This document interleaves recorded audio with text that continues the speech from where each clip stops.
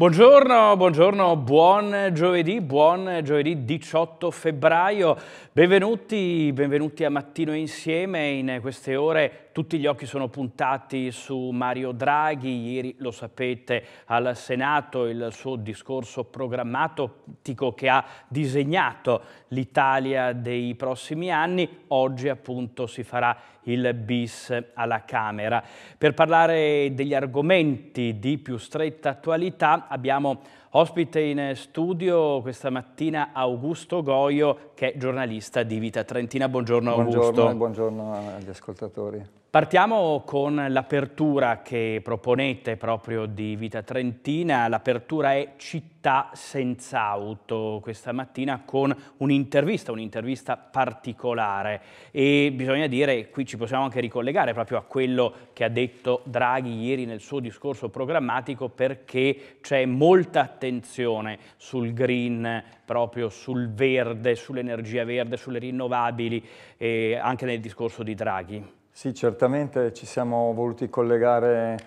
a questo, a questi temi, questi temi della transizione ecologica e abbiamo appunto interpellato l'assessore comunale di Trento alla transizione ecologica appunto e alla mobilità che è l'ingegnere Ezio Facchin e, in qualche modo questo ci ricollega appunto ai temi di cui accennavi prima, questo è stato uno dei leitmotiv anche del discorso programmatico di Mario Draghi ieri al Senato, un'attenzione all'ambiente che è stata sottolineata poi anche eh, nel plauso così, delle forze politiche di questa larga coalizione eh, della quale si occupa anche il nostro editorialista eh, Paolo Pombeni, eh, in qualche modo anche eh, un po' critico nei confronti di quella che eh, chiama una ciurma di Mario Draghi, una, insieme una coalizione, una grossa coalizione in qualche modo che vedremo, e questo è un po' l'interrogativo che pone eh, Pombeni, se saprà poi eh, mantenersi unita e unità è proprio una delle parole l'altra parola chiave usata da Mario Draghi. Ma tornando appunto al tema del servizio di apertura, lo abbiamo voluto collegare anche al primo anniversario in qualche modo della pandemia da Covid-19 che eh, ha costretto mh, tutti noi a ripensare anche il nostro muoverci, a confrontarci anche con la difficoltà di restare eh, a casa per un lungo periodo per contenere eh, il contagio, eh, ha costretto anche eh, eh, l'economia a ripensarsi, c'è tutto un interrogativo anche sul quello che sarà dei posti di lavoro, un altro tema toccato da Mario Draghi, eh, delle aziende che in qualche modo eh, in futuro dopo questa, questo scossone eh, dovranno anche chiudere, l'ha detto chiaramente Mario Draghi, e, e, quindi questi lavoratori dovranno in qualche modo essere formati e, e riconvertiti ad altri lavori. Sono temi che comunque toccano anche eh, la città di Trento e questa transizione eh, ecologica, come vorrà essere declinata, ce ne parla appunto l'ingegnere Ezio Facchini a partire dai eh, grandi progetti che suscitano anche eh, proteste, eh, anche legittime nel dibattito delle opinioni e il servizio che vogliamo fare è proprio quello di eh, porre proprio i temi sul tappeto per un confronto che ci potrà eh, sicuramente essere anche con eh, chi è critico nei confronti di queste grandi opere. E in proposito proprio oggi si terrà un appuntamento online eh, con, rivolto in particolare agli abitanti del sobborgo di Povo dove in questo periodo sono in corso dei sondaggi proprio in vista della realizzazione del passante ferroviario. È un approfondimento che eh, troveranno i lettori anche sulle nostre pagine. Poi ovviamente parlate anche del richiamo, dell'appello fatto dal Vescovo Tisi in occasione proprio del mercoledì delle ceneri, un richiamo al vaccino, al vaccino che sia per tutti, lo ha detto già più volte, bisogna dire anche Papa Francesco questo. Sì, no? Il Vescovo Tisi ne ha voluto parlare eh, ieri in occasione della eh, celebrazione delle ceneri da, dal santuario di Montagnaga di Pinè e un appello appunto perché eh, anche sulla scorta di quanto affermato in più occasioni anche da Papa Francesco, come ricordavi giustamente tu, eh, questo vaccino sia veramente per tutti e sia messo a disposizione eh, anche di quei paesi che ci ricorda il quotidiano avvenire eh, non ne dispongono, sono più di 130 i paesi nel mondo dove il vaccino ancora non, non si è visto. E anche da noi vediamo nelle vostre immagini e lo vedranno i lettori sulle, invece sugli scatti del nostro fotografo Gianni Zotta che eh, è stata avviata appunto la campagna anche per eh, i nostri anziani dopo aver eh, così vaccinato gli anziani nelle case di riposo. È partita questa campagna che eh, pur con eh, i tempi eh, necessari dovuti appunto alla, il fatto che questo vaccino poi possa eh, anche essere mh, mm, richiamato no? con la seconda vaccinazione, in qualche modo dovrebbe condurci verso una primavera, un'estate più serena. E a questo tema si richiama anche nell'editoriale Vincenzo Passerini che appunto ripercorre questo anno segnato dalla pandemia eh, con un accento anche sulla necessità della ricerca della verità per quanto possibile, smascherando anche eh, le bugie eh, di chi eh, in qualche modo ha voluto ottenere eh, nascoste eh, delle, delle, verità magari scomode e in questo anche il ruolo della, della stampa e dei media può essere assolutamente centrale e importante. Vi occupate poi nelle pagine interne del Safe Internet Month che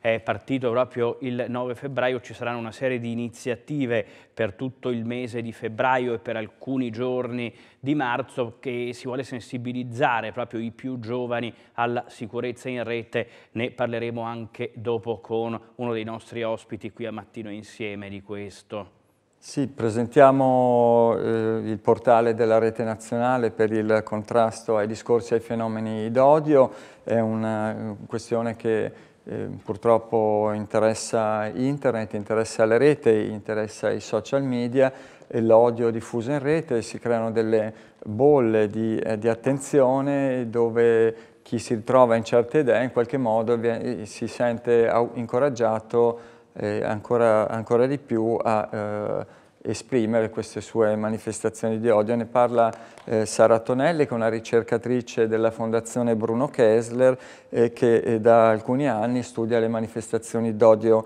in rete. Mm, Sara Tonelli è la coordinatrice del gruppo di ricerca in Digital Humanities, che ha sviluppato un software che è in grado di identificare automaticamente i messaggi eh, d'odio. Eh, è importante, comunque sottolinea la ricercatrice, che ci sia un'azione di educazione, un uso corretto della rete e in qualche modo cerchiamo di appunto presentare queste eh, possibilità che, che, ci sono appunto per eh, smascherare questi odiatori in rete e in qualche modo limitarne i danni che possono fare. Non può mancare un ricordo su Vita Trentina, un ricordo di Sergio Ferrari che era vostro collaboratore, devo dire, fatemi dire veramente due parole perché anch'io con Sergio Ferrari ho lavorato, allora ero un giovanissimo giornalista, facevamo una trasmissione ovviamente di agricoltura su una nota radio del Trentino, è veramente una persona di un'umanità, di una sapienza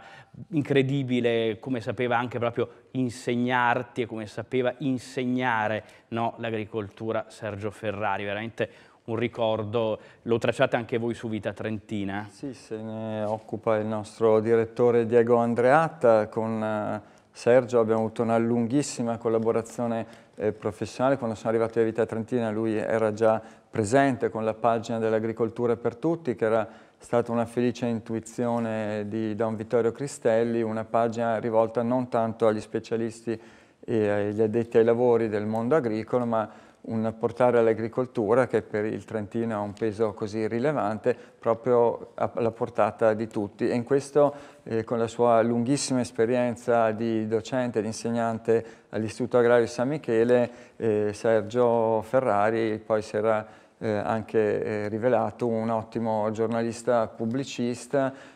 con, eh, insieme a Sergio Michelone che era stato suo allievo all'Istituto Agrario per 40 anni appunto ha curato questa, questa pagina. Ne avevamo appena eh, festeggiato poche settimane fa la pagina numero 2000 è un vero record sicuramente a livello nazionale, forse non solo, una collaborazione eh, per noi molto preziosa, una voce anche eh, talvolta critica sugli aspetti del mondo agricolo, e, però con una eh, schiettezza che gli era sicuramente riconosciuta da chi appunto di agricoltura si occupa professionalmente. Anche perché era, bisogna dire, veramente uno dei più profondi conoscitori no, dell'agricoltura trentina, Sergio Ferrari, veramente un caro ricordo. Parlate poi dei segni di Quaresima nelle pagine interne perché è cominciato quel percorso che ci porterà piano piano alla Pasqua.